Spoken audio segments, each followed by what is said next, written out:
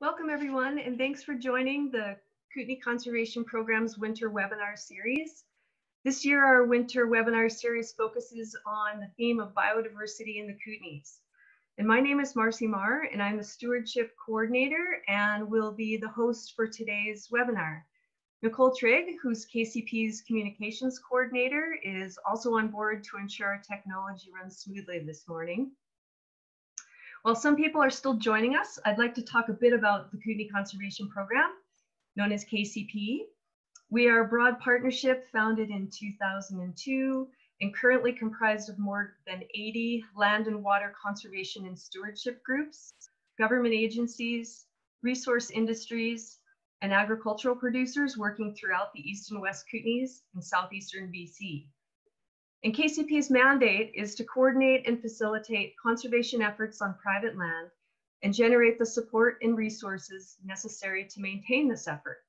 And we do this through increasing the effectiveness, collaboration, and coordination of private lands securement, increasing the effectiveness and coordination of stewardship activities taking place on private lands, building financial and technical capacity for our partner organizations, and serving as a network to achieve efficiencies, synergies, and ultimately greater effectiveness. So I just want to uh, talk about our next uh, webinar that's coming up. And we have Valerie Huff from the Kootenay Native Plant Society on February 26th, who will be talking about why we should plant meadows, a systems approach to recovering pollinator pathways. And then uh, we have on March 4th, Clayton Lamb from the University of Calgary, who will be presenting an evidence to action approach for carnivore coexistence in adapt or die landscapes. And then we'll wrap up our webinar series on March 12th with our speaker, Cori Lausen of the Wildlife Conservation Society of Canada, whose talk will be back to the basics, reevaluating bat boxes based on bat needs. We're always very grateful to our funders and supporters uh, of the Kootenay Conservation Program, without whom we, we couldn't do these, these types of activities. So I'd like to review some information about the webinar. Um, the webinar will be approximately 40 minutes with uh, 15 minutes of questions uh, and answers at the end.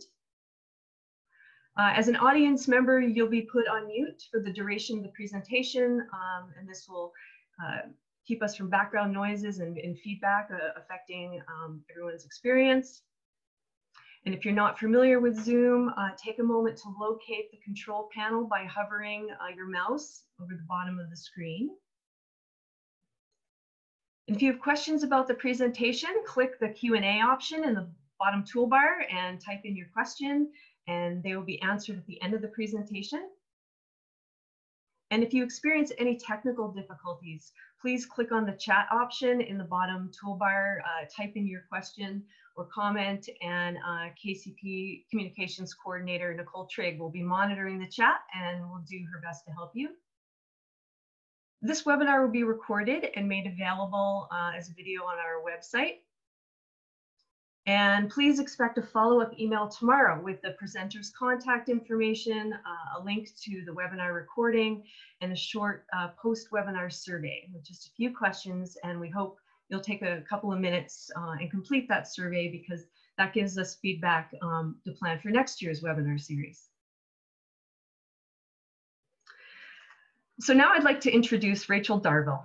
Rachel is a registered professional biologist and principal consultant of GoldenEye Ecological Services based in Golden. And she's been working on bird research projects in the Columbia wetlands for the last five years.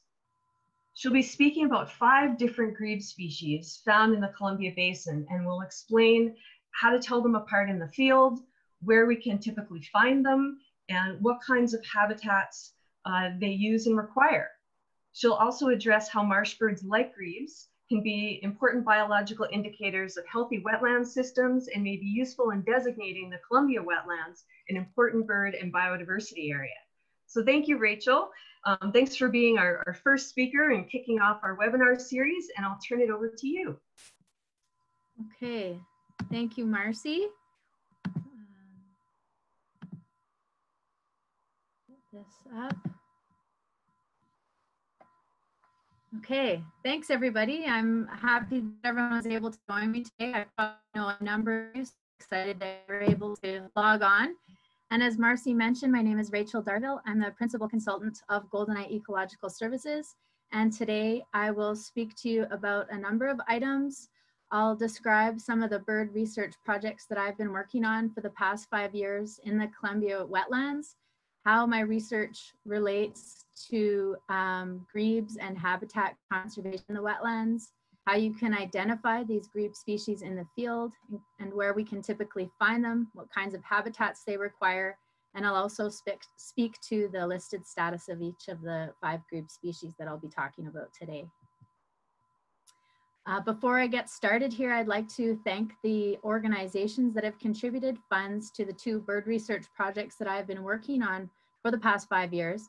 These projects would certainly not be possible without the generous funding contributions of these organizations that have allowed me to spend time in the field learning about these birds, learning about grebes, and collecting a number, uh, uh, an, an, extremely large data set at this point and formulating uh, recommendations to protect waterbird habitat of the Columbia wetlands. And before I speak about grebes, I would like to tell you a little bit about the ecosystem that I've been working in um, so that you have a good sense for um, where we're conducting this research.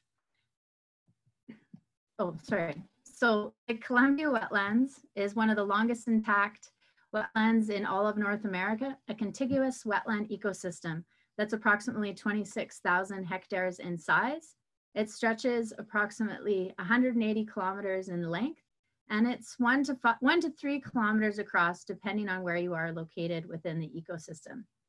It is the only undammed stretch of the Columbia River that remains, and it provides essential habitat for a number of different fish and wildlife species, including some that are imperiled or at risk, as well as migratory and resident birds. It is considered to be a vital component of the Pacific Flyway, which is a major north-south flyway route in America.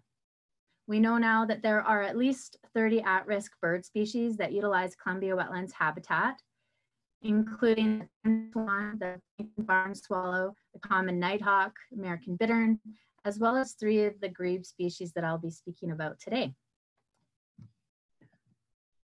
The Columbia wetlands does have a few different conservation designations in specific parts of the wetlands. Well, first off, uh, the Ramsar designation. In, in 2004, the non-governmental organization Wildsight made an application to designate the Columbia wetlands with Ramsar status. And in 2005, it received that status. So this means it's now recognized as a wetland with international significance. About 69% of the Columbia wetlands has been designated as the Columbia Wetlands Wildlife Management Area, and that portion of the wetlands is under the jurisdiction and management of the provincial government, the Ministry of Forest Lands, Natural Resource Operations and Rural Development. There are four parcels in the Columbia wetlands that are called the Columbia National Wildlife Area, including the Wilmer unit and three other smaller units. And this um, area is managed by the federal government, the Canadian Wildlife Service, but is actually owned by the Nature Trust of BC and is leased to the federal government for their management. There is a provincial park in the northern end of the Columbia wetlands called Burges and James Gadsden Provincial Park, which is managed by BC Parks. And there are some additional conservation parcels within the Columbia wetlands that are owned by the Nature Trust of BC and the or the Nature Trust of Canada. And this um, provides you sort of with an aerial overview. I took this photograph when I was conducting an aerial survey for waterbirds um, during fall migration. And you can see that the wetlands are here are in the foreground and are adjacent to the riparian forests and the um, forested benchlands and extends up into the Purcell mountain range. So to tell you a little bit about one of these bird research projects that I've been working on, the first is the Columbia Wetlands Waterbird Survey Project, which was a five-year coordinated bird count that ran from 2015 to 2019. There's sort of three major overarching goals of that particular project, and it was a project of Wildsight Golden. So first off, the project worked to provide a citizen science opportunity for residents that live in the Columbia Valley. Although we did have some participants that came as far as Calgary and some from Canmore and um, Cranbrook as well.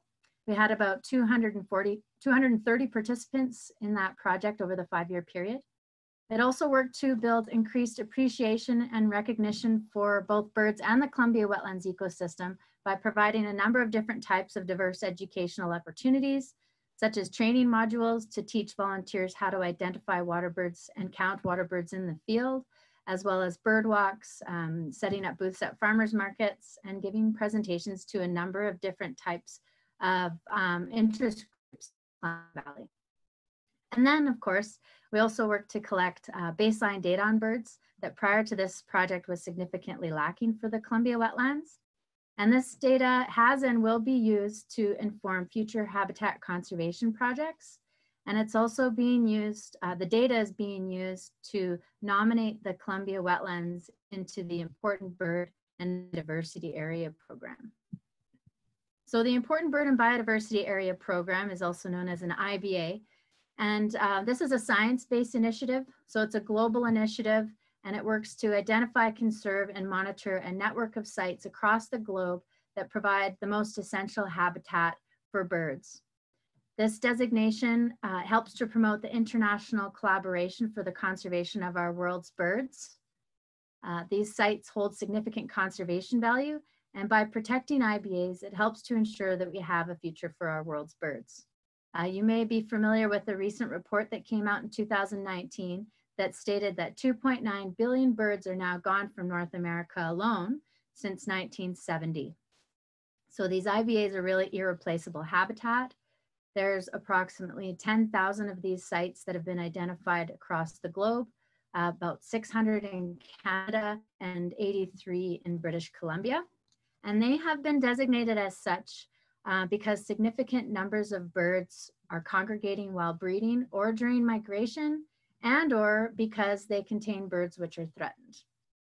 And for species that tend to congregate in large numbers, the threshold is often 1% of its global or regional uh, population. So once, once achieved, the IBA status can help achieve uh, conservation objectives, and it can also be good for the local economy because globally the, the birding world is growing. People are getting really interested in birds, which is a great thing. Uh, there are specific trigger species that we thought would could have the potential to trigger IBA status for the Columbia wetlands prior to initiating the Columbia Wetlands Waterbird Survey Project. And these are some of these species. So you can see that there are four different group species that were listed with numbers beside them. So that's essentially the threshold or 1% of the um, continental or regional population for those birds. So to give you um, an example, for the trumpeter swan, if we were to see three, approximately 340 individuals on any given day, then that would trigger the threshold um, for the IBA with the trumpeter swan species. And you need to uh, meet that, that criteria or trigger these thresholds for at least five consecutive years. And that's why the Columbia Wetlands Waterbird Survey Project was a five-year project. This gives you a snapshot for where IBAs are distribu distributed across the province of British Columbia. You can see that most of them are on the coast, largely because they provide important shorebird habitat and or seabird habitat, so large congregations of uh, breeding or, or um, resting shorebirds on the coast. But we also have two IBAs in the Columbia Basin. So one is at the Creston Valley Wildlife Management Area, and the other is located north of Cranbrook in the Skookumchuck area. And that particular Skookumchuck IBA was designated as such because of the habitat values that they it provides to uh, the threatened species, Lewis's woodpeckers and long-billed curlews.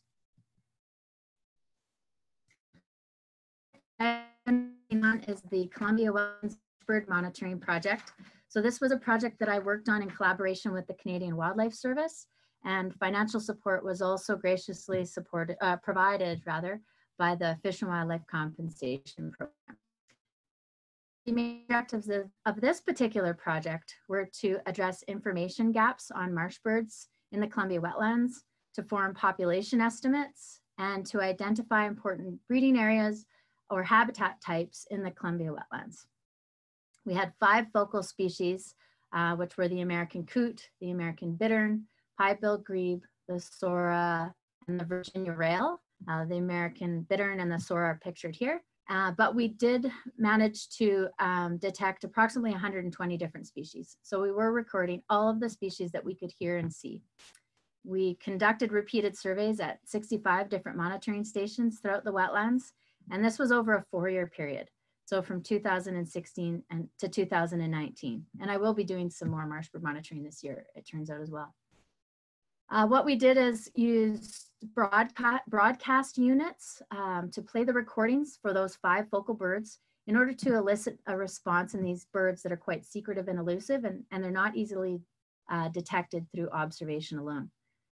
We also conducted habitat monitoring at each of the survey stations and during those uh, habitat um, surveys, we basically reported on major habitat types at each of the survey stations, including the per percent of open water, percent of emergent herbaceous vegetation, as well as uh, dominant species of vegetation at the sites.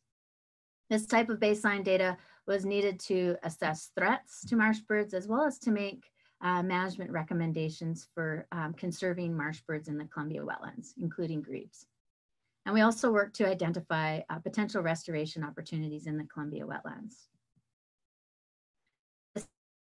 View For where the service stations are located, uh, so the most southerly location was at the north end of Columbia Lake and survey stations were distributed um, throughout the system, were accessed either through ground-based methods or with a kayak, and they extended all the way up to the Burges and James Gadsden Provincial Park, uh, which is located north of Golden and is locally, no locally known as uh, the Moberly Marsh. So, including grebes, rails, bitterns, and snipe, and others that typically inhabit dense emergent wetlands.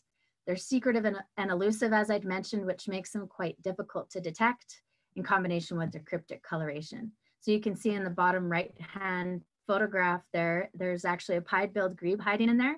And so you can see that they're pretty secretive and, and challenging to see. And this one was coming close because I had elicited its response using that broadcasting equipment. So often they don't come out and they're not even often that visible during the breeding season. I also wanted to point out there that um, yellow-headed blackbird, while not a focal species of the marsh bird monitoring project or officially classified as a marsh bird, it does utilize marsh bird habitat. So this would be one of the um, additional species that we counted and observed during the uh, project. And it's considered to be um, an important component to the marsh bird monitoring project, a good indicator species. Um, oops, sorry, I just jumped ahead there. Uh, there are, or sorry, with the um, marsh birds, there's generally little known about these particular species because they are secretive and elusive. But um, globally speaking, a number of these birds are thought to be on the decline. To provide an example, the horned grebe was recently uplisted by the International Union for the Conservation of Nature, or the IUCN, to be a vulnerable species, which is um, one step below endangered at the IUCN level. project, we felt that a number of marsh bird species use the Columbia wetlands to breed, but population and um, population sizes and locations of important breeding habitat were unknown. And there are a number of threats to the Columbia wetlands ecosystem, even though it is still relatively intact, such as climate change, increased levels of recreation that can lead to things like egg loss, nest abandonment, trampling of vegetation from things like cattle and dogs, as well as rural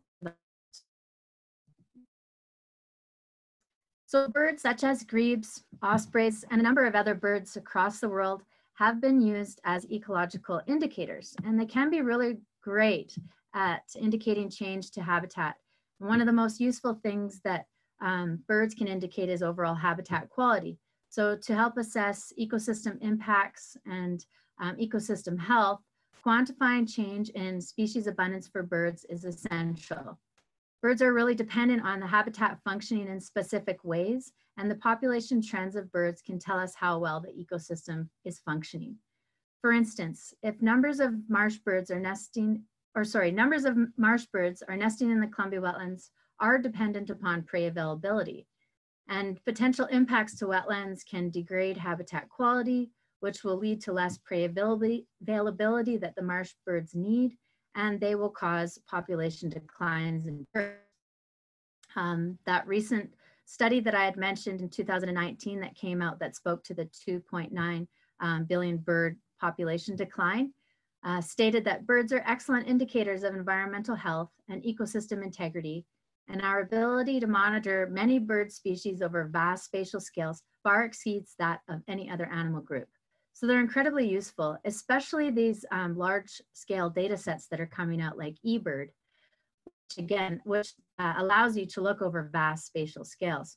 Evaluating magnitude of population declines can be challenging because it really requires monitoring over the long term, which can be problematic when it comes to um, resource constraints such as uh, funding and time.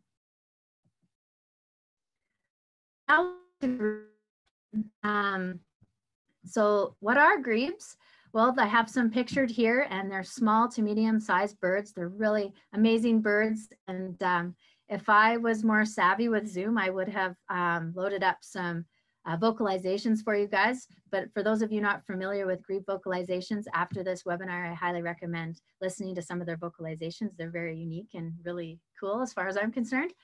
Um, so these birds are foot propelled underwater. They're not wing propelled, so they, they um, can swim really effectively. They're excellent swimmers and divers that are using their feet to swim, these lobe-toed feet.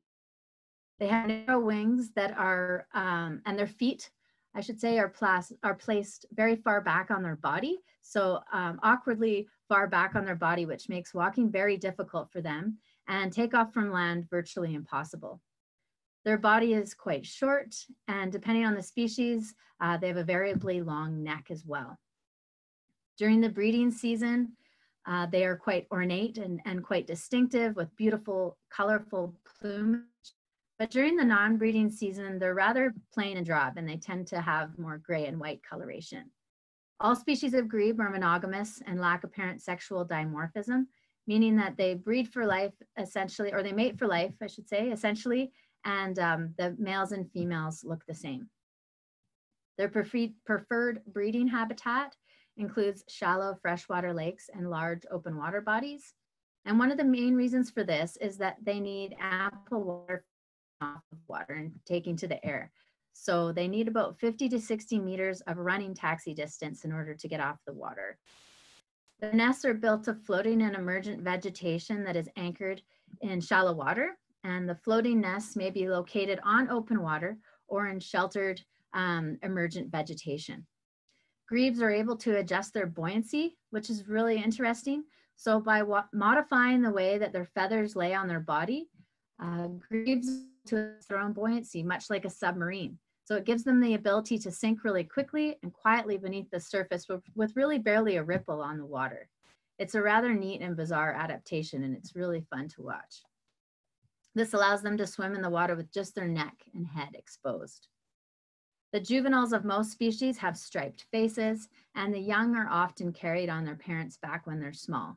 And adults may even swim underwater with the young on their back. And you can see the, pot, the bottom right shows um, redneck grebe carrying two chicks on the back. Grebes are mostly migratory and they're usually found wintering on salt water on the ocean and breeding colonially or solitary in shallow or reedy freshwater habitats. Their food often includes fish, as well as aquatic invertebrates and some plant materials. And for uncertain reasons, uh, feathers are often swallowed, although, although there are some theories as to why they're swallowed.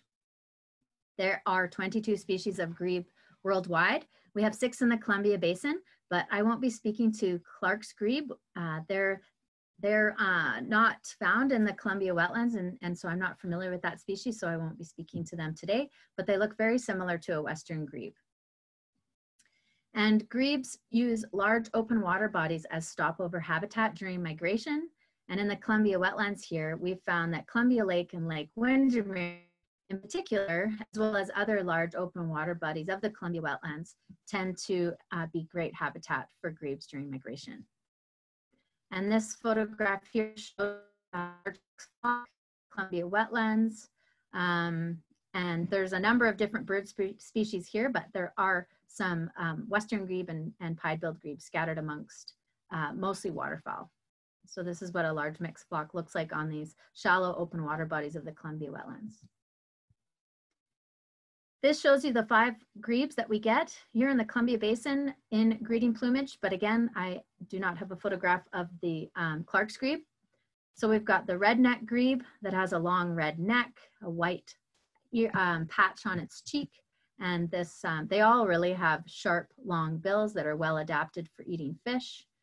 Um, the western grebe is here with this long white neck, and the horned grebe and the eared grebe look somewhat similar, although the horned grebe has this thick tuft of yellow feathers coming off of the eyes, whereas the eared grebe has more wispy um, feathers coming off of behind the eye. And they're more delicate looking and they're smaller. And then the pied-billed grebe is a is has a different bill shape compared to the other grebe, so it's more chunky and stout. And during the breeding season, it has that stripe around its bill. And I'll go through all these species individually. So for the redneck grebe, I'd mentioned, that, I mean, and as the name suggests, the long red neck is really a striking identifying feature of this particular species. And the bill is yellow and gray in color. Uh, it's, it's quite a large grebe. It's second only in size to the western grebe. And it's got a really unique call um, that I recommend listening to after the webinar or when you have time. These birds are normally solitary nesters, but occasionally they'll nest in loose colonies. Their breeding distribution is widespread throughout British Columbia except in the northern part of the province. In the Columbia wetlands, they're normally found nesting in open water bodies that have yellow pond lilies, so they use those floating pond lilies to um, weave their floating nests. And they use large open water bodies like the other grebes as stopover habitat during migration. And again, especially Columbia Lake and Lake Windermere here in the Columbia Valley. Their diet is comprised mainly of fish and crustaceans. And this particular species is not a species at risk, but more intensive surveys are required to see how their population is doing. Some declines may be occurring in southern BC according to the BC Breeding Bird Atlas, which was a survey that took place between the years of 2008 and 2012. Then we've got the Western grebe, which is the largest grebe in British Columbia beautiful bird um, with a long white neck, clean white neck and a black stripe, stripe down the back of the neck, which makes this um, identif these identifying features very distinctive for this particular species. Again, this long, sharp, pointy bill, which is very diagnostic of a grebe. Um, and they, they perform a really spectacular breeding or courtship display in their breeding territories. And you can see that they're doing this um, beautiful courtship dance in the photograph that's um, pictured down in the um, left-hand corner of the screen. But there are a few places in British Columbia where West, Western grebes breed. So the Creston Valley is, is one area where Western grebes breed, but Salmon Arm Bay, uh, Shuswap Lake has the largest colony of Western grebes in British Columbia. These birds tend to nest among reed canary grass, cattails, or over submerged water milfoils on freshwater lakes. And these birds are really fish specialists. They mainly take fish, but they also take salamanders, crustaceans, and insects. The western grebe is red listed in British Columbia, so it's um, on the highest level of, of being at risk on the provincial scale, and they've been red listed since 1992. And COSEWIC, or the Committee on the Status of Endangered Wildlife in Canada, um, listed this species to be of special concern in 2014. Then we've got the cute little bird, um, small and still. It's brownish gray color overall. It doesn't have that bright, colorful plumage like you'd see at the eared grebe or the horned grebe. And um, during the breeding season, I'd mentioned it has that stripe around the bill, as you see in the upper right-hand corner but um, during the non-breeding season, you don't see that stripe as um, is photographed in the bottom left-hand corner. This bird, like other grebes, build floating nests, as you can see in the photograph on the bottom right, with three chicks head. Begins, these floating nests are barely above the water, but they continually add to their nests um, during the nesting season. And this particular species is not at risk either. And then we've got the eared grebe. So the eared grebe is the most abundant grebe in North America and in fact the world and not here in the Columbia Valley, but in the world. So these birds have wispy yellow ear feathers and they're smaller and more delicate looking than the horned grebe. They're small, highly social birds that breed in colonies that number into the low 1000s. A really uh, cool fact about these birds is that almost the entire population of eared grebes, the world's population of eared grebes, flies to two locations, Mono Lake in California, or Great Salt Lake in Utah. And that's where this photograph was taken in Great Salt Lake. And they go to those areas to fatten up on brine shrimp, alkali flies before migrating further south. Here they more than double their body weight. And so these birds will spend up to nine to 10 months of the year flightless. Uh, this is the longest flightless period of any bird in the world that is capable of flight. And during this time, they're flightless because they're going through multiple changes in body mass and changes in internal digestive organs. So it's really, really cool. They've got really interesting and unique biology. And if you want to learn more about the biology of the eared grebe, there's um, ample information online about them. The eared grebes, like other grebes, are habitats of shallow freshwater um, marshes, ponds, and lakes with emergent vegetation and an abundance of macroinvertebrates for food. And of course, they use uh, large open water bodies as stopover habitat as well. And here in the Columbia Valley, we found again that Columbia Lake and Lake Windermere, as well as other, um, well, those two lakes in particular for the eared grebe is where we tend to find them. Uh, provincially, the species is blue listed and they have not been assessed by COSEWIC. Then we have the horned grebe. So this is the last of five grebe species that I'll be speaking about today. Um, this particular grebe species is monogamous. Um, all grebe species tend to be monogamous, so they mate for life. This one is largely territorial, and uh, the horned grebe usually nests solitarily and occasionally in small colonies. This particular species performs intricate courtship displays in its breeding habitat as well. It builds cryptic floating nests of emergent vegetation, and this type of emergent vegetation that these grebes tend to like is are things like cattail, bulrush, sedge, and horsetail. In migration, stopover sites are, are medium to large in size, over 1,000 hectares. And um, uh, the horned grebe is yellow listed in the province of British Columbia and as a species of special concern in 2009 due to ongoing wide-ranging long-term declines. The horned grebe is also listed as a, special, a species of special concern under SARA, which is the Federal Species at Risk Act. And through that BC breeding bird survey that took place in two, from 2008 to 2012, there was sparse data available that, or sparse data that came in for the horned grebe, suggesting that there may be steeper declines for horned grebes in British Columbia compared to elsewhere in Canada. And threats to um, this particular species include wetland loss during droughts, degradation of wetland breeding sites, and increasing nest predators. So these, uh, this is a uh, image of the uh, grebes in their non-breeding plumage. So you can see that they all really have a similar shape and they all are rather drab. So they tend to be sort of gray and white in color, maybe a bit of brownish in there. So they really can be similar in their non-breeding plumage. And you have to pay special attention when you're identifying these guys. You want to pay attention to the to their to their um, small differences in shape, to the bill color, to the eye color, and where the white occurs. So uh, the where the white occurs is is particularly really um, significant with uh, when trying to differentiate between the horned grebe and the eared grebe. And I'm going to be showing you a slide dedicated just to those species and show you the subtle differences between the two of them.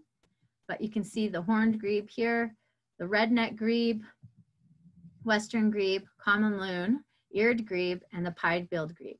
So I stuck the common loon in there because uh, I think it can sometimes be confused with the grebe species. It does kind of have a similar shape.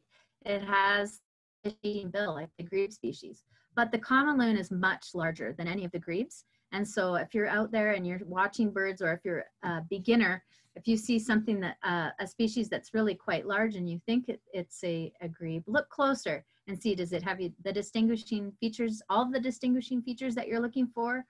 And if not, then maybe you might be something looking at something like a common loon. Other species that get confused with the grebes during the non-breeding season include the hooded merganser um, and sometimes the pelagic cormorant, cormorant or the double-crested cormorant rather. okay, so the horned grebe and the eared grebe. So with the horned grebe, which we see on the left, you can see that the cheek of this particular bird and everything um, on the face below the line of the eye is really clean white. And the front of the neck is really white as well. The head crown on the horned grebe is right. And where the peak of the body is held on the back, for the horned grebe, it's more well-rounded as well. In comparison to the eared grebe, where the peak of the back tends to be held um, near, the, near the rear end of the bird. The eared grebe has dark on the face below the line drawn with the eye. It has a dusky neck, so you don't get that clean white cheek and the clean white neck. And you tend to get a peaked crown on the head above the eye. And sometimes you'll see a white ear patch on, a, on the eared grebe as well, which you can see in the uppermost and bottommost photograph on the eared grebe side.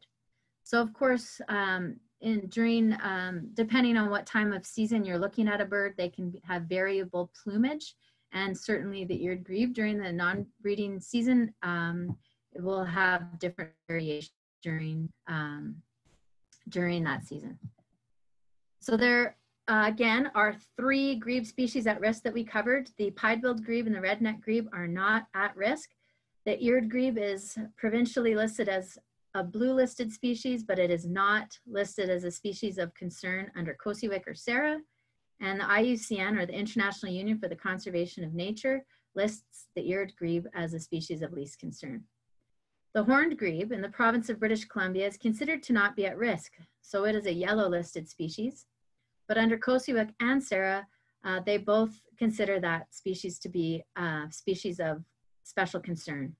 And the IUCN lists that particular grebe species, the horned grebe, to be the most at risk globally, and they list it with the vulnerable status, which is only one step below endangered status on their red list. And then the western grebe uh, is considered to be the most endangered by the province of British Columbia within British Columbia itself. COSEWIC considers it to be a species of special concern, as does SARA, and the IUCN um, considers it to be of least concern. So the Water Survey, uh, the survey dates tend to occur in the fall, or they do occur in the fall and the spring, but they occur a little bit ahead of when the peak migration occurs for the grebes through the Columbia Valley, both in the spring and the fall. And so we didn't get a lot of records for grebes because of that, but we did get some. So we had 15 records for the eared grebe, 53 for the horned grebe, um, 34 for the eared horn because it's difficult to tell the difference between the two of them, 67 for the western grebe. Additionally, we've been looking at um, eBird records and there's a number of um, at-risk grebe records in there, which can be useful for helping you determine what types of habitat is in during migration or during breeding, depending on where you are. But here in the Columbia wetlands, we don't get breeding western grebes and um, the horned grebe, I'm not familiar with any locations for breeding horned grebes. And with the eared grebe, we only found one location when they were, where they were breeding. But we do seem to get a fair number of them during migration. And for these particular areas where we are getting high concentrations of at-risk grebe species, as well as other types of water birds, it's been recommended through the Columbia Bird Survey to protect this stopover habitat using migratory bird sanctuary designation status. I'm working on another project now through the Columbia Wetland Stewardship Partners and Kootenay Connect, where I'm doing a lot of eBird data mining. And so I was speaking about this a little bit in the last slide, but there are a number of additional records there that can be useful for helping you identify where you should be focusing your efforts in conserving uh, stopover habitat in our case. These are the model average estimates local marsh bird species through the uh, Marsh Bird Monitoring Project. And you can see the pied-billed grebe, um, if you look at the abundance estimates columns, came out with numbers between 887 individuals and 1,216. Uh, you may recall that the IBA threshold is often 1% of a species' global or regional population, and for pied-billed grebes, that's approximately 1,000 to 1,200 individuals. So through the Marshbird Monitoring Project and the abundance estimates that we made for pied-billed grebes, we're using those estimates to nominate the Columbia wetlands into the um, IBA program. So additional habitat conservation actions and recommendations that have been made because of these projects, I'm going to cover some of them now. Um, first off, I want to explain that the ideal breeding habitat for marsh birds tends to be this condition called the hemi-marsh condition. So this is where you'll get the well interspersed 50 to 50 vegetative cover to water ratio. And in these types of areas, you'll find higher densities and diversities of marsh birds and wetlands. And the rationale for this is because you'll get increased abundance and availability of food, and it also allows for the visual isolation of breeding birds. There's one area in the Columbia Valley called Reflection Lake where we're essentially starting to get a cattail monoculture. So this is not uh, very well used, it's too dense. Um, and this cattail removes the open water that's needed by birds to forage and move around. And it also creates anaerobic conditions, which leads to little to no invertebrate productivity and invertebrates are needed by birds um, for food, of course. Reflection Lake has been documented as important breeding habitat for a number of different uh, marsh bird species. And this is in the habitat of Reflection Lake that is away from that cattail monoculture. And these increases in cattail growth, which you can see on the right, in the case of Reflection Lake, are really owing to um, the creation of the uh, adjacent highway and the CP rail yard. So it's essentially cut off the natural hydrological flow regime.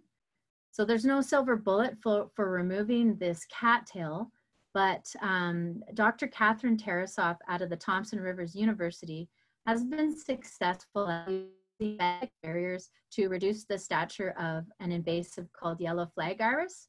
And so we're doing some experimental cattail manipulations using Dr. Tarasoff's approach to work to restore the hemi-marsh condition at Reflection Lake. So we've removed some cattails from test plots, installed benthic barriers.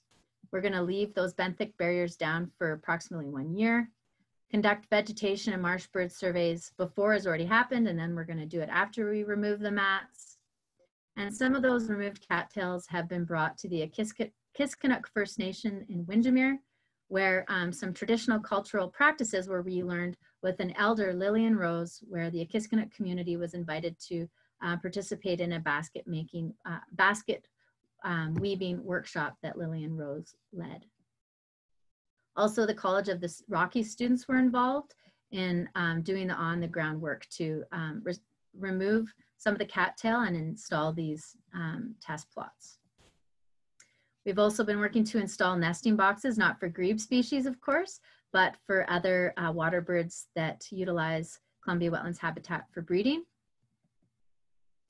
And I want to point out too that grebes have been useful for developing the boating regulations that the Columbia wetlands currently have. So um, currently there's no motorized vessels allowed in the wetlands portion of the Columbia River wetlands. They're restricted to the main channel. There's also a prohibition on the towing of persons on water skis or other equipment in the main channel of the Columbia River. And uh, the final piece of the regulation states that those vessels on the main channel are limited to a motor of an engine with 15 kilowatts or less. And so all of these things help to reduce impact to birds as well um, on the main channel helps to reduce the amount of wake that can be damaging, especially to birds like grebes that build floating nests. And you can see the photograph here. There's a um, at-risk horned grebe uh, flying away from uh, some motorized users that were um, that were uh, water skiing at the south end of Lake Windermere, Lake, or sorry, Columbia Lake in the spring of 2019.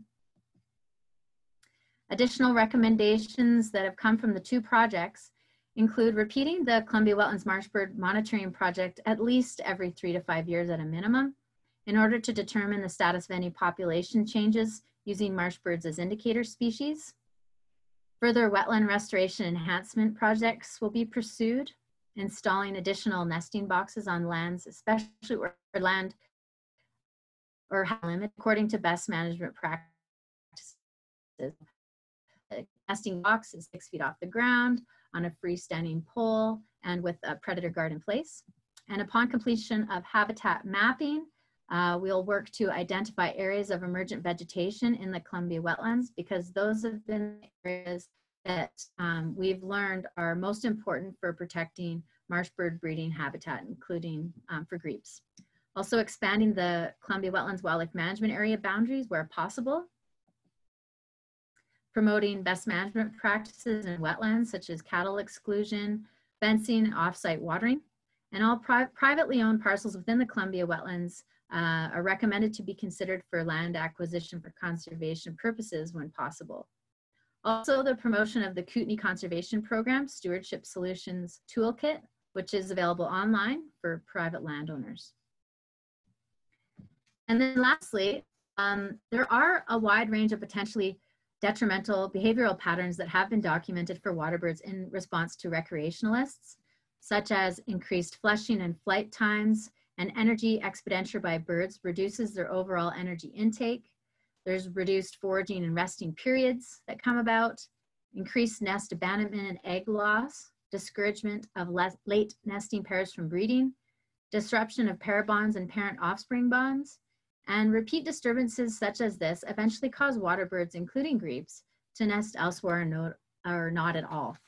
So I recommend that there be widespread public education regarding the impacts to water birds, including grebes, from recreation, and to reduce or significantly limit all traffic, including non-motorized recreational traffic, in or near emergent vegetation that is critical during life stages for birds.